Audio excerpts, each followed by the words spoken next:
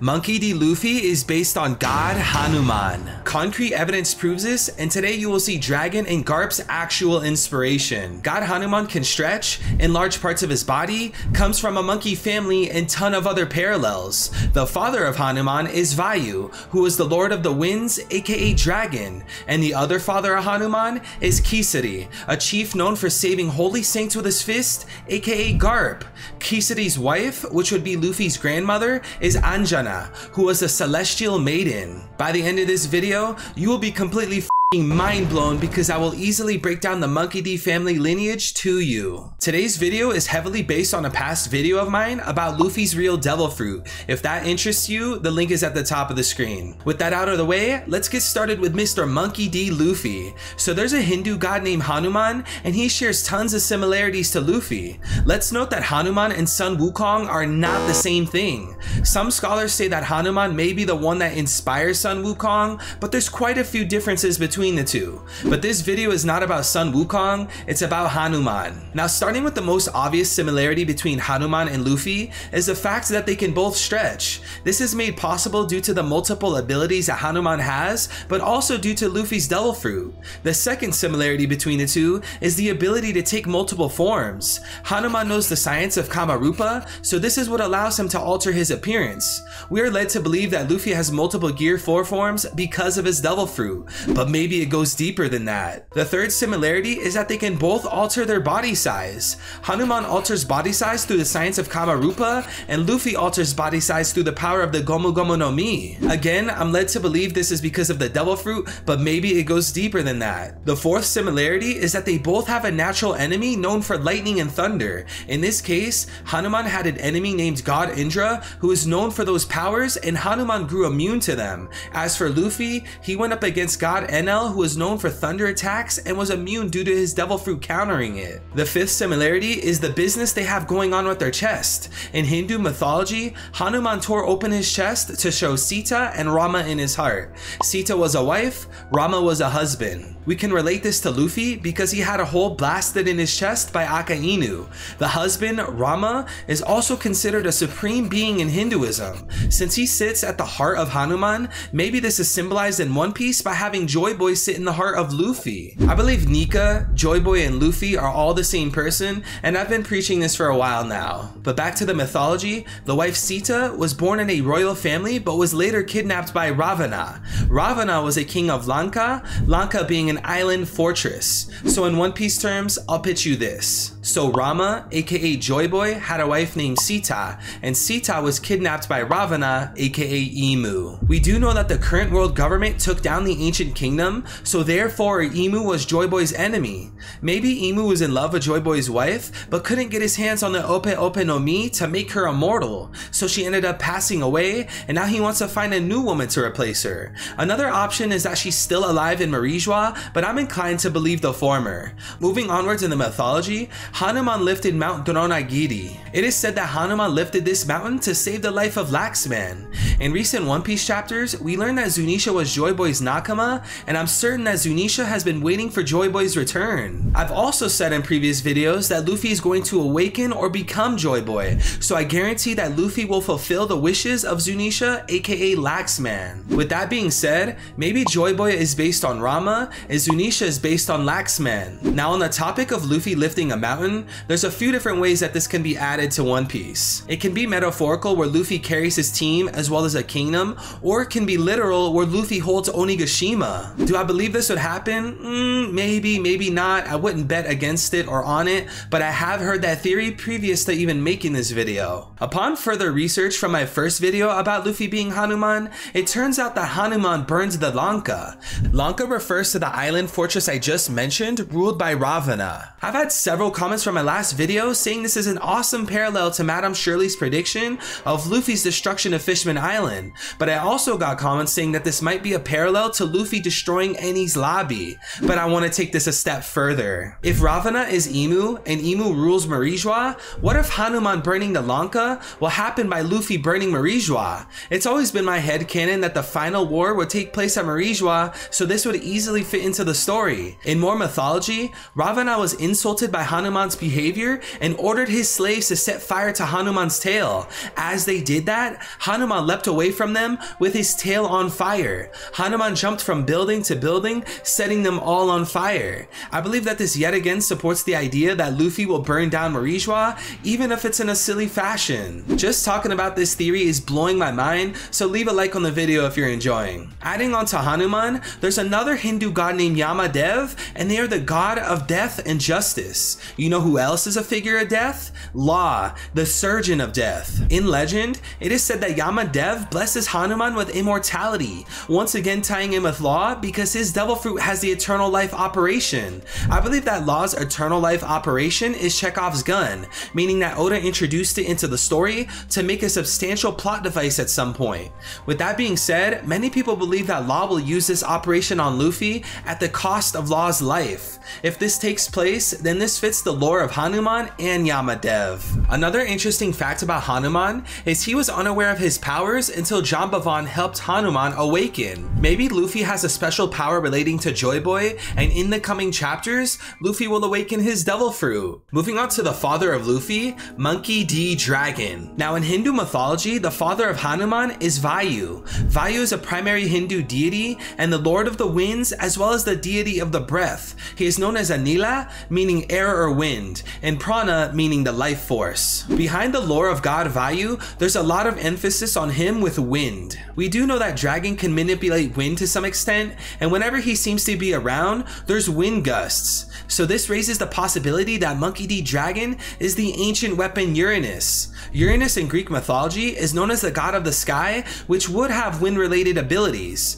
Previous to my Hanuman theory, I used to believe that Momonosuke was Uranus. But considering that Vayu lines up with Dragon so well, and they have that emphasis on wind, I'm inclined to believe that Dragon is Uranus. To add on to that idea, Monkey D. Dragon called Ivankov around the time of the Marineford War. The interesting part is that Dragon says that his followers are relieved to know he's human after all. I feel like this is a slight hint to Monkey D. Dragon's true nature, because this might be a hint to him being Uranus. This would explain why people are relieved to hear that Dragon is a human after all. Now there might be ties between Dragon and a special character we've been waiting to see come back, and that character is Enel. So in Hindu mythology, Vayu had a sibling named Indra, which we talked a little bit about earlier. Oda doesn't use real life references one to one, so I believe that Oda's switching this around by making Enel not a sibling to Dragon. It is said that God Indra shared their first drink with Vayu. Maybe at some point, Dragon was friends with Enel and they got to know each other. Remember earlier how I said that Hanuman's natural enemy was Indra? Well in mythology, Vayu was upset that Indra struck Hanuman, so Vayu responded by sucking all the air around him.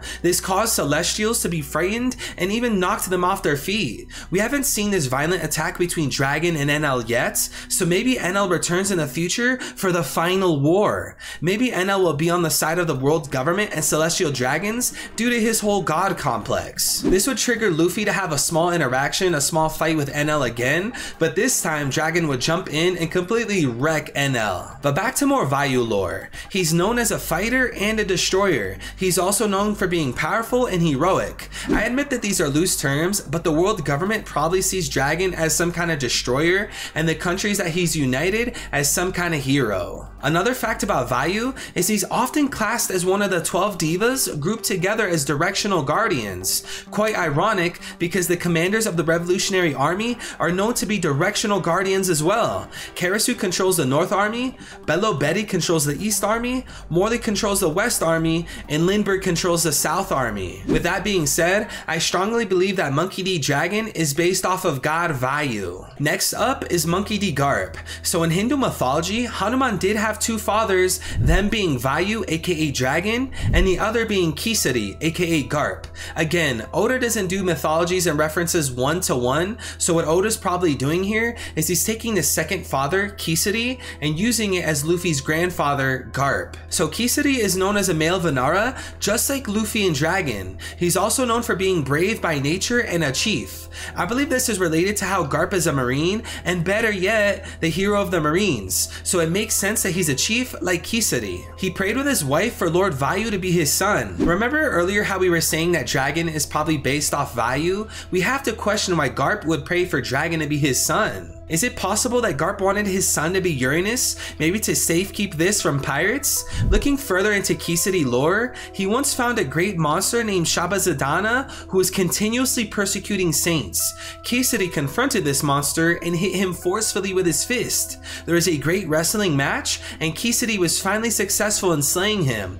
Applying this to One Piece is almost one to one with the God Valley incident. Between the victims, the enemy, the savior, and the location, it all matches the God Valley incident. Starting with the monster, Shambazadana is a type of demon or goblin. They have the power to shapeshift at will to appear as animals, monsters, or in the case of female demons, as beautiful women. With that being said, can Rocks D. Xebec be a goblin with shape-shifting abilities? We know of multiple devil fruits that alter appearance, but maybe Xebec took this to another level. Goblins are also known to be short, so maybe that explains his height compared to the other Rocks Pirates members. In the Hindu mythology, the Shambazadana slaying took place at a sacred shrine near the shore. The defeat of Xebec took place at God Valley, so maybe that's tying in with the sacred shrine from the mythology. And as far as being near the shore, in the anime we see a lot of boats which implies that Garp fought near the shore as well. More mythology says that Kisedi used to wander around different holy places. This is a bit vague, but maybe this relates to Garp by him visiting Marijois